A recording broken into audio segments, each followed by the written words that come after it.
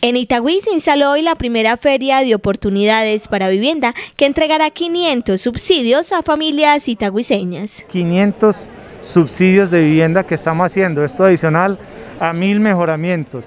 Aquí entonces tenemos diferentes acompañamientos. La población eh, más vulnerable, en este caso discapacidad, negritudes, eh, la población afro y también la población en situación de discapacidad y víctimas serán quienes tendrán ese, digamos, esa prioridad y siempre y cuando cumplan con todos los requisitos. ¿Cuáles son los requisitos?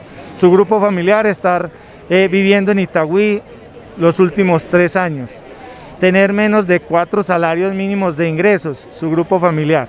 Con esto acceden pues al acompañamiento que hacemos, 25 salarios mínimos desde la administración, 7 salarios mínimos que nos acompaña Viva y 20 eh, a los que tengan como población diferencial hasta un número limitado que son 50, son los que apoyan. Los subsidios van de los 7 a los 25 salarios mínimos legales vigentes según las características de la población. Además, puede usted postularse hasta el sábado 10 de julio para acceder al subsidio de vivienda, reforma y legalización de predios, según lo explicó el primer mandatario de la ciudad. Nosotros estamos hablando de Itagüí Ciudad para la Familia, con este proyecto de vivienda nueva, mejoramientos de vivienda, mil mejoramientos de vivienda que ya estamos por encima de los 150 en diferentes sectores y el otro tema es la legalización y titulación. ¿Qué estamos haciendo? Buscando estos predios propiedad del municipio que ya están ocupados desde hace años y se le está haciendo el proceso de legalización y titulación a la comunidad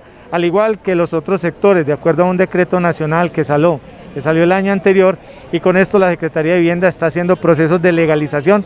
Aquí hay que hablar de que no es a la vivienda, sino que primero se hace al globo, se pasa por un proceso en planeación y luego todo el proceso de legalización y titulación. Además, una misma familia puede aplicar a varios subsidios mientras devenga menos de cuatro salarios mínimos legales vigentes, como lo es el crédito social otorgado por la empresa de vivienda e infraestructura de Antioquia, Viva. Eh, muy complacidos de traer al fondo de vivienda de Viva.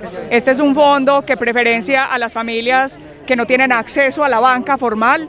Eh, preferenciamos a las familias que tienen hoy una condición de informalidad en el empleo y lo que buscamos allí a través de este estudio que hacemos es buscar que el flujo de caja que tienen las familias destinado para un arriendo lo puedan convertir al cierre financiero a través de un crédito otorgado directamente por nuestra empresa. En esta feria están presentes las cajas de compensación familiar, inmobiliarias, bancos y entidades públicas con las que se tiene convenio. Eh, vine a, a esta oferta de vivienda porque me parece muy interesante, aparte porque los requisitos son muy fáciles de cumplir. El primero es no haber tenido ningún subsidio de vivienda, ganar entre uno, dos, tres y cuatro salarios mínimos y ser residente del municipio de Itagüí por más de tres o cuatro años.